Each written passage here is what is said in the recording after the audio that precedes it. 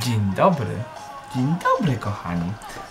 Dawno nie robiłem, prawda? Dzień dobry, takiego wieczornego dzień dobry. Że zbliża się poniedziałek, znaczy już macie poniedziałek, bo w poniedziałek będziecie mnie oglądać, to y, wam zrobię nagranie pod tytułem Dzień dobry w poniedziałek.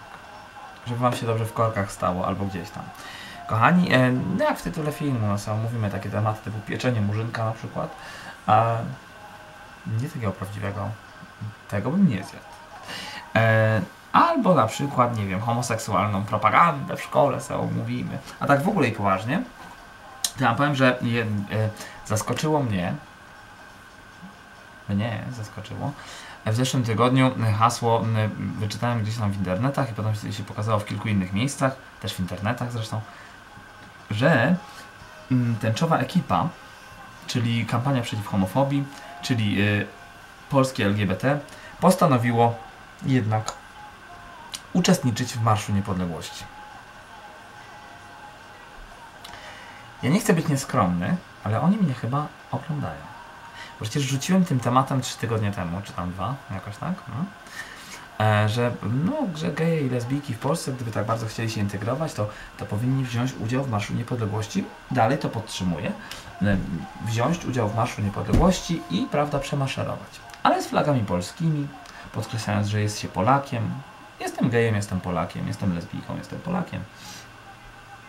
No tak, jestem lesbijką, jestem Polakiem, bo lesbijki, no, no tak.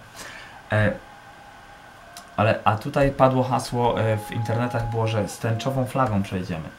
Kochani, jak dostaniecie w pierdol za tą e, e, tęczową flagę, chociaż nie sądzę, bo Marsz Niepodległości nie jest marszem neonazistów, jest marszem patriotów.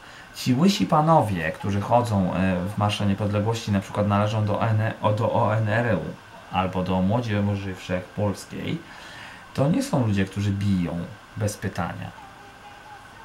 Przecież w ogóle nie biją. Ja w pierdolu nie dostałem jakoś dziwne. Jestem gejem. Niektórzy, nazywają, niektórzy z Was nazywają mnie pedałem. Co ciekawe, najczęściej pedałem nazywają mnie inni gejowie. Gejowie. To brzmi dumnie, a nie jest dumne. E, jakoś nigdy nie dostałem. Ciekawe dlaczego. Pewnie dlatego, że wykazuje szacunek. A no właśnie. Zastanówmy się, kochani, nad szacunkiem dla innych ludzi. Bardzo ciekawy wątek. Szacunek.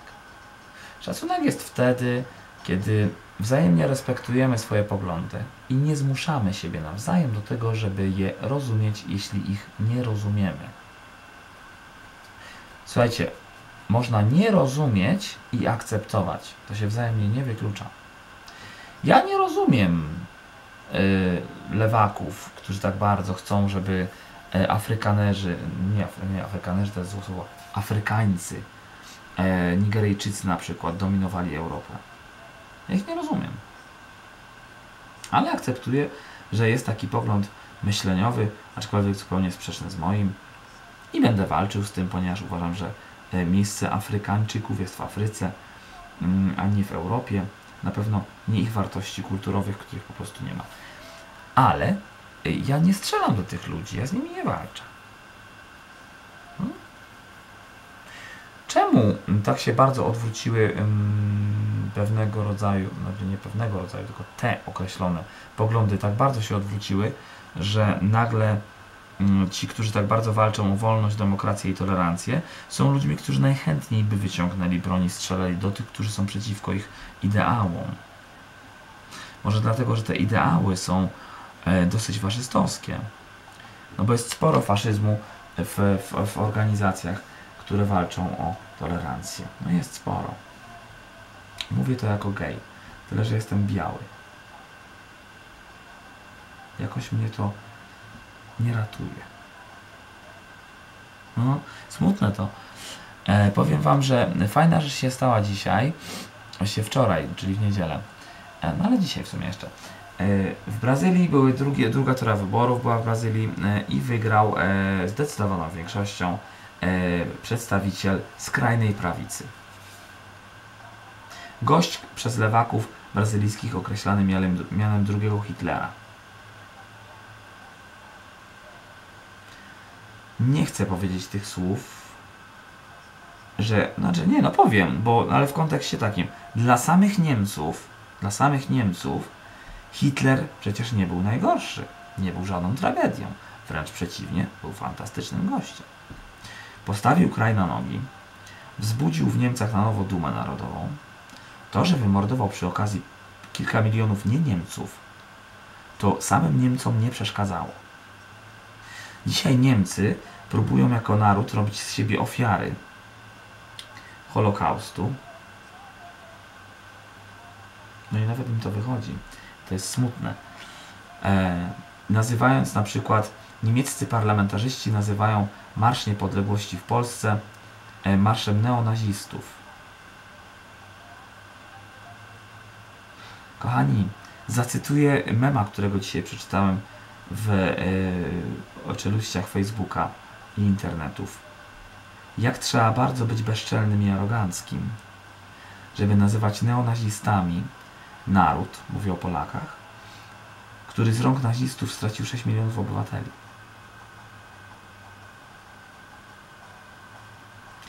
No ale takich czasów dożyliśmy. Kurwa mać. Ja naprawdę y, zaczynam e, być coraz głębszym e, wielbicielem teorii, e, że chińskiego powiedzenia obyś w ciekawych czasach żył i uznałeś to jako przekleństwo, bo to jest przekleństwo. Nic to, nic to.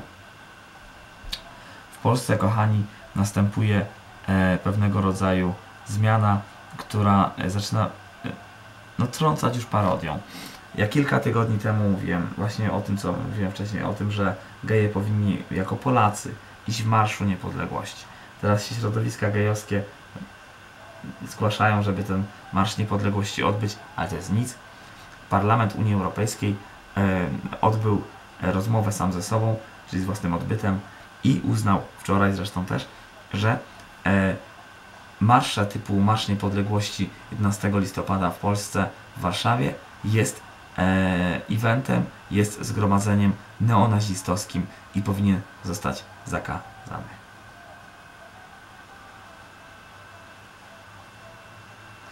Czy tylko ja się tym wkurwiam? Ja się nawet nie wkurwiam, nawet nie obryzam paznokci, bo ich nie mam. Kochani, zobaczcie do czego to zmierza. Dopiero co tęczowe piątki, chwilę później e, tęczowa grupa chce uczestniczyć w Marszu Niepodległości, a chwilę później Marsz Niepodległości zostaje uznany przez Parlament Europejski jako zgromadzenie neonazistów. Za chwilę zostanie zakazany w stulecie wolnej i niepodległej. Ja nie chcę być zarozumiały, ale co mówiłem dwa miesiące temu? Że Marsz Niepodległości w tym roku w Polsce, jeżeli się w ogóle odbędzie, to będzie mm, to będzie masakra. Hmm? Ja wiem, miałem tchnąć w nas optymizm w poniedziałek, a tchnę pesymizm. Nawet nie jest pesymizm, to jest realizm, kochani. Ale nadzieją jest to, że właśnie we Włoszech taki Salvini wygrał i Włochy idą drogą właściwą. W Bolsonaro wygrał e, wybory prezydenckie w Brazylii, więc idzie w prawą stronę bardzo, bardzo i dobrze.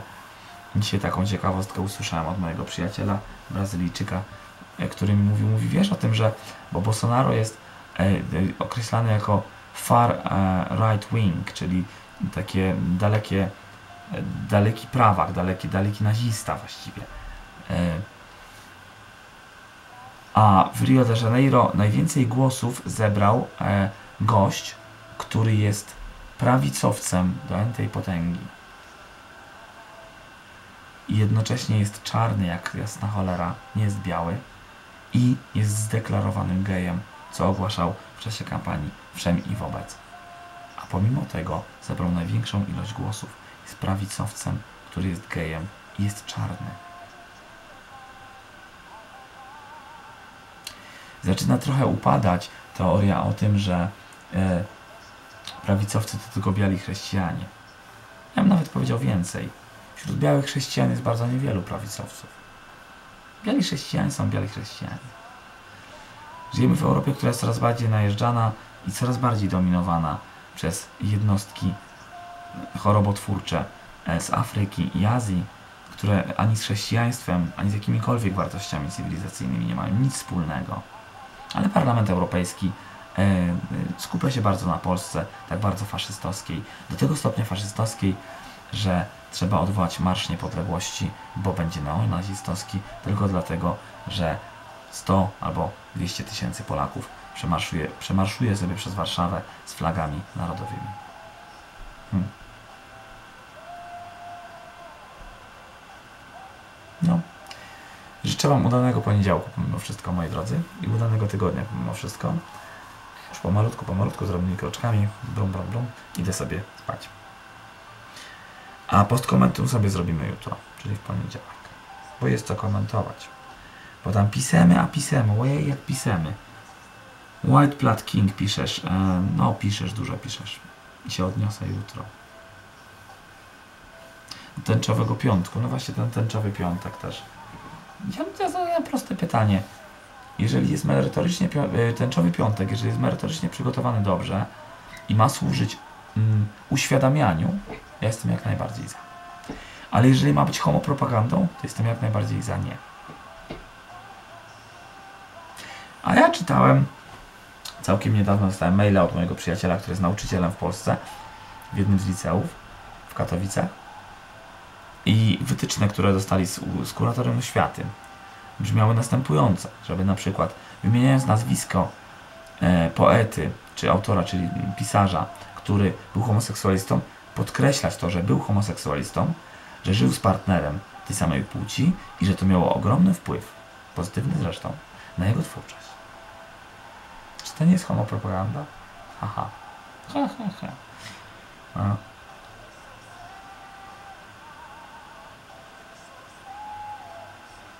aha, i że piekę murzynka, bo mówiłem, że piekę. No właśnie dzisiaj było takie hasło w południu, upiekłem murzynka, że został zjedzony całkowicie. Całkowicie.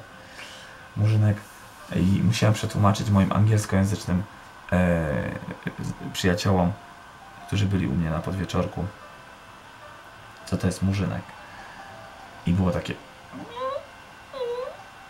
no, no little nigga. Nigga, nigga, nigga, nigga. Ale potem zajadali się ciastem. Smakował murzynek. No. Ale słuchajcie, postkomentum i, i, i te odniesienia zrobimy sobie jutro, co? No.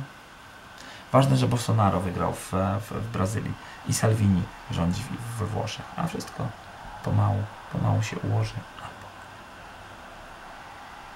Wiecie, że Was kocham, nie? No to dobranoc, moi drodzy. Właśnie nie, dzień dobry. Życzę Wam udanego poniedziałku.